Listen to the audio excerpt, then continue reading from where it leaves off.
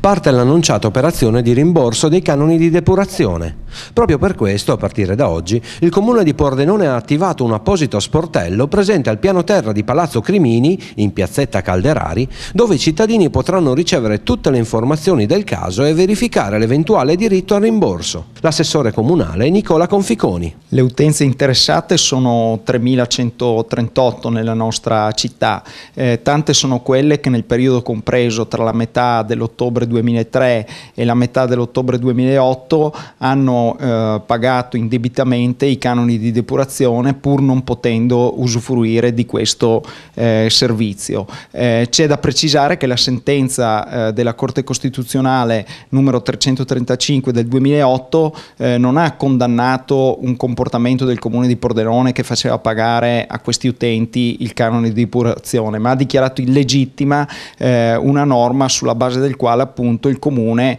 eh, richiedeva questi, questi canoni. Eh, l'importo complessivo da restituire, comprensivo degli interessi, è di circa 1.700.000 euro. È importante anche in questo caso sottolineare che eh, avremmo potuto eh, recuperare questi soldi aumentando le bollette eh, del servizio idrico integrato, invece abbiamo deciso di utilizzare un fondo precedentemente accantonato e degli utili di GEA che sono stati eh, distribuiti nei mesi scorsi. Le domande vanno presentate entro luglio eh, 2014 in modo tale che tutta questa partita dei rimborsi nei termini di legge possa essere conclusa eh, tra circa un anno. Lo sportello avrà i seguenti orari, dal lunedì al venerdì dalle 10 alle 12.45, il lunedì e il giovedì pomeriggio anche dalle 15.30 alle 17.30.